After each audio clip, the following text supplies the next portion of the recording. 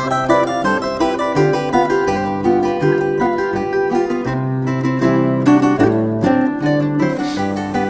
willkommen zu AntiTV Folge 23.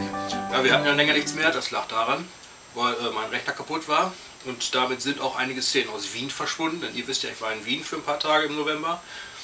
Ähm, nicht alles ist verschwunden, einiges kann ich euch zeigen, zum Beispiel Albert Klavier spielt, ähm, wie die Bücher kommen und wie ich im Schloss Schönbrunn war. Ich würde sagen, das gucken wir uns jetzt mal an. Viel Spaß dabei.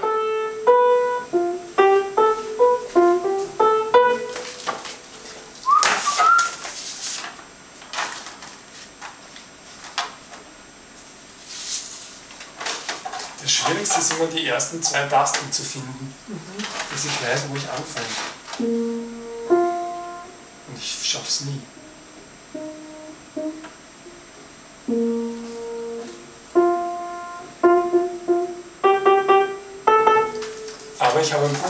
Da ich nachschauen. Na, junge Pianist, na bitte. Ja, ja, junge Pianist. Jetzt muss ich mir wieder anschauen, wo das H ist. Das kommt davon, wenn man so lange nicht spielt, aber das ist schon H. Weil das klingt ein bisschen hoch fürs H, das ich brauche. Ja, das klingt ja schon eher nach meinem H. Merkt man, dass ich schon seit Monaten nicht mehr gespielt habe?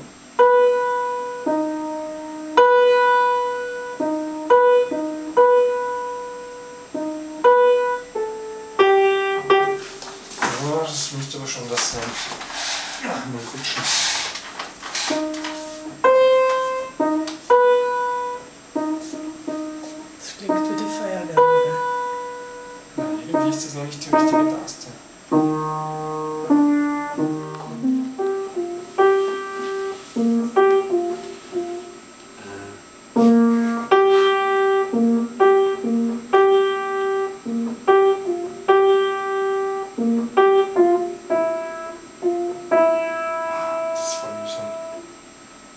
Schnipp, Schnipp.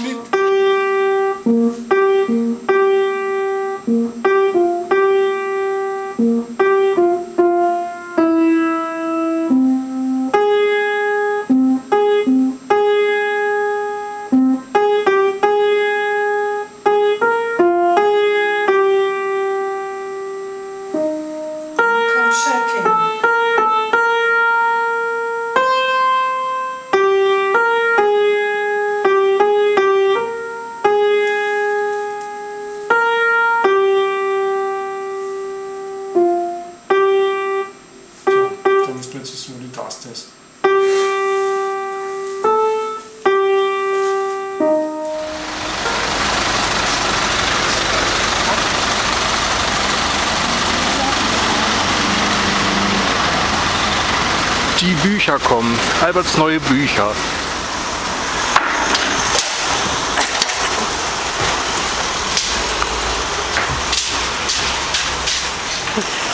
Der Autor und seine neuen Bücher.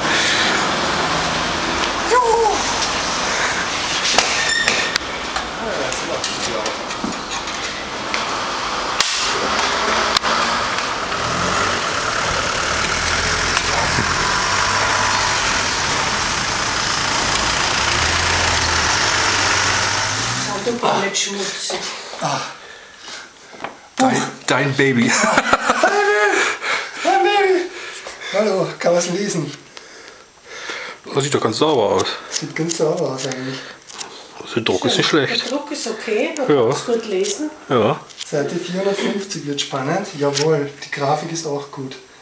Seite 451 gibt es die einzige Grafik. Aha. Da waren die Eckenfransen nicht. Schau mal, das Cover ist wirklich. Das ist hundertmal besser als das alte. Ja? Ja, das ist. Nein, das ist gute Qualität. Ja, ab sofort super Qualität. So, wir befinden uns jetzt im Schlosspark Schönbrunn. Da vorne ist der Eingang, wo wir reingekommen sind. Jetzt machen wir einen Rundumschwenk. Da kommt jetzt das Schloss ins Bild. Da gehen wir auch gleich mal rein, mal gucken. Wenn es nicht zu teuer ist, heißt das.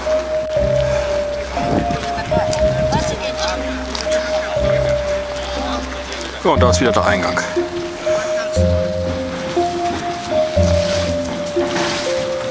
So, also reingehen tue ich dann nicht, das ist mir doch zu teuer. Dafür gehen wir jetzt mal in den Garten. Gucken uns das mal an, hier so mit den Nebengebäuden und so. Ja, hier sind wir jetzt auf der Rückseite vom Schloss, an dem sich dann ein riesen Park und Garten anschließt. Und den erkunden wir jetzt mal ein bisschen. Interessant, wie die hier die Bäume schneiden. Wie mit einem Lineal gezogen. Und jetzt gehen wir mal auf das Ding da hinten zu.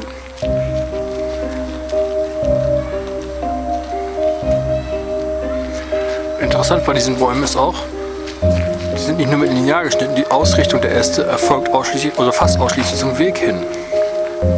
So dass, wenn man mal von vorne guckt, eine Fläche entsteht.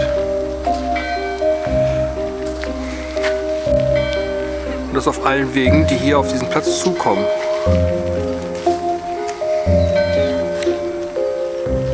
Zum Beispiel da drüben.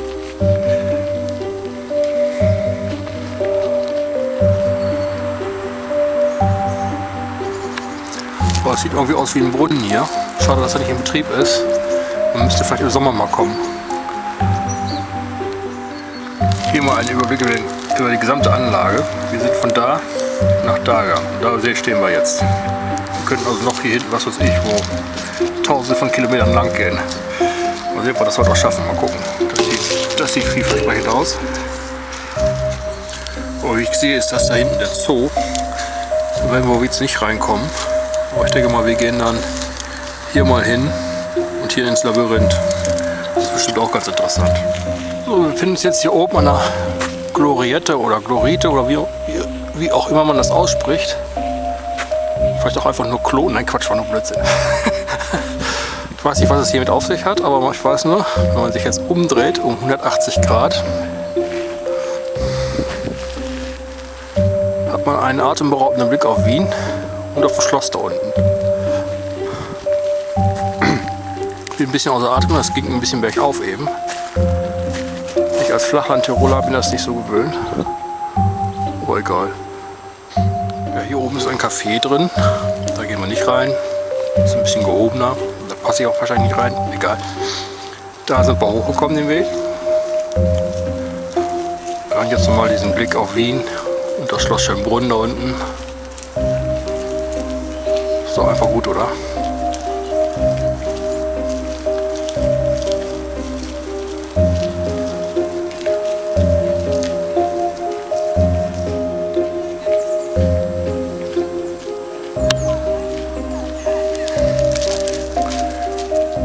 Dieser Gloriette ist auch noch mal ein See. Wofür der ist, weiß ich nicht. Oh, und jetzt gehen wir noch mal gucken. Durch diesen prächtigen Säulengang.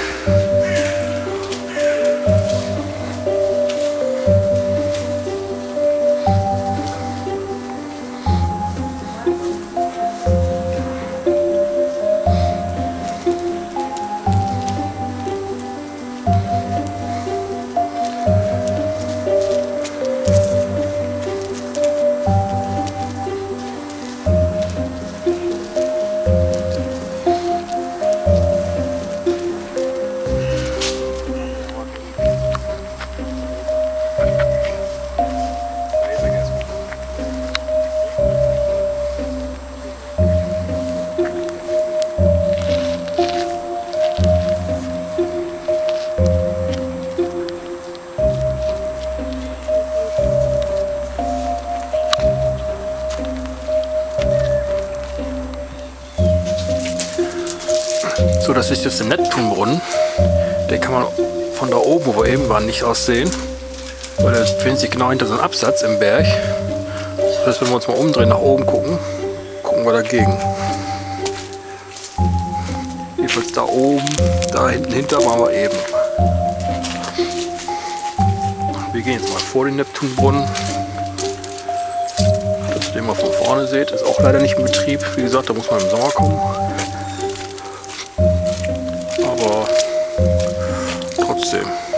ich wenigstens mal was anziehen kann.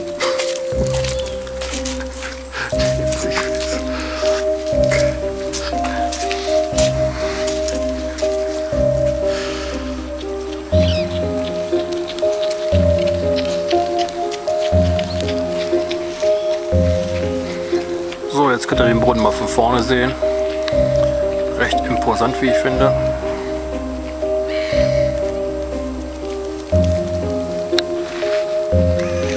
Wir da mal gucken, dass wir irgendwo das Labyrinth finden. Ich hoffe, wir finden, sonst bleibt es weg. So viel zum Thema Irrgarten und Labyrinth. Die haben zu. So ein Scheiß.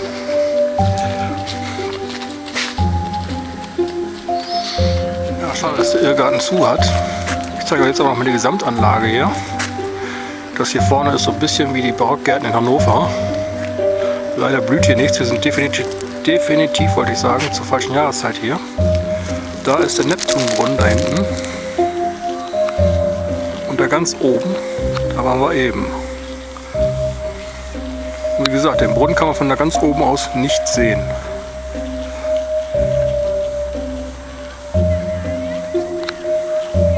Ich bin eigentlich überrascht, wie groß das hier eigentlich ist. Muss ich sagen, hätte ich nicht gedacht.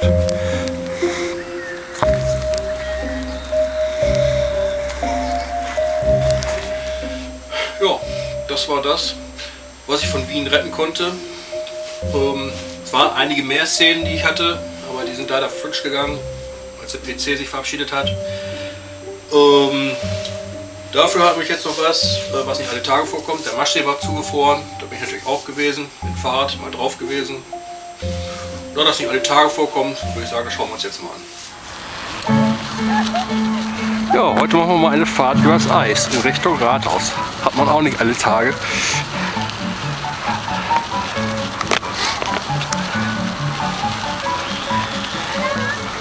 Damit ihr seht, dass ich auch wirklich fahre.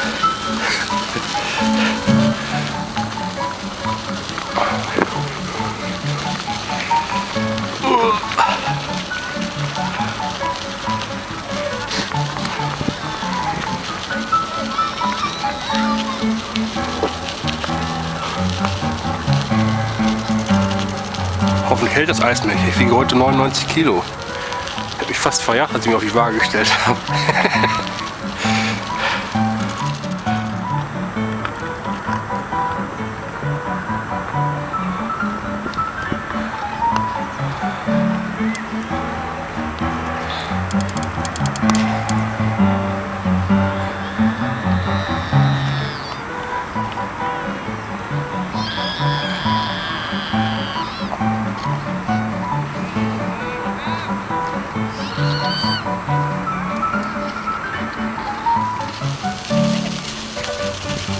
So, jetzt fahren wir mal zum Maschsee. Der ist da oben, da hinten hinter der Kreuzung. Mal gucken, was da so los ist.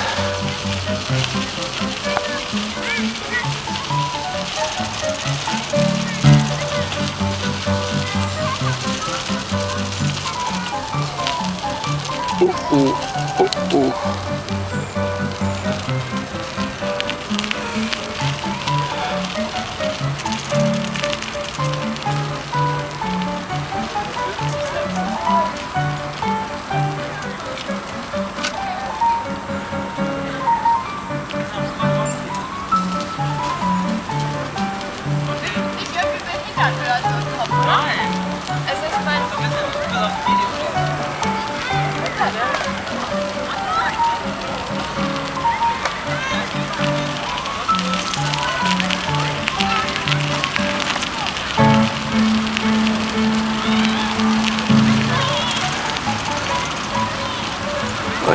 Nochmal mitgebracht, wa? Hätte ich jetzt auch rodeln können.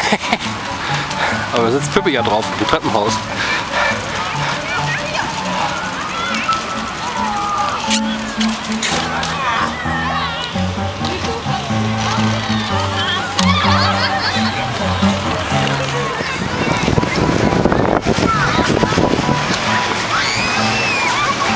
Ja, nun sind wir am Maschsee.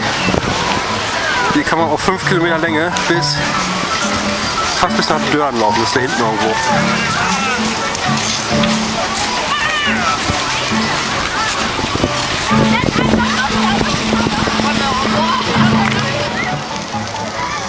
So, nun fahren wir noch einmal über den Maschsee. Kommt auch nicht alle Tage vor.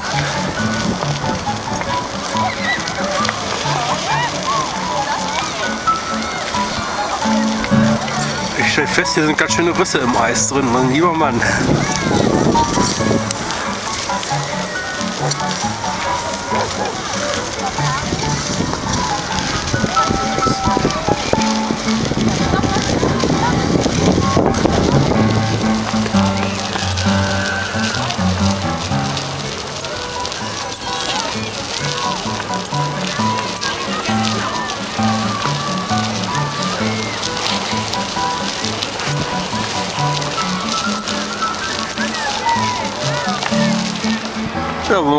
Das hier noch geht. Allzu oft kommt das ja nicht vor, dass das hier so lange zugefroren ist.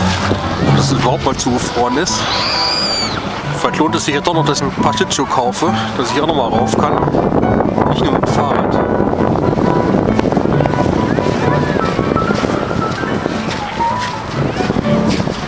So, jetzt muss ich erst mal gucken, dass ich irgendwo runterkomme wieder. Denn hier am Nordufer, ich schwenke mal ein bisschen schneller jetzt, hier am Nordufer geht das schlecht, da ist nämlich ein Geländer. Muss mal gucken, dass ich drüben bei dem Hotel irgendwo runterkomme.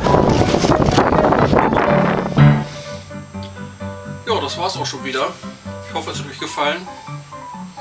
War ja nicht viel von Wien, auch nicht viel vom Matschsee. Ähm, so Gott will und so Gott die PCs wollen, gibt es die nächste Ausgabe schon bald. Da habe ich auch schon was vorbereitet, nämlich wie ich am Lesen bin für die Hörprobe von Albert. Wie gesagt, so Gott will, so Gott die PCs wollen, ist das dann für die nächste Folge, für die nächste Ausgabe vorgesehen. Bis dahin wünsche ich euch eine schöne Zeit, macht's gut, viel Spaß. Tschüss!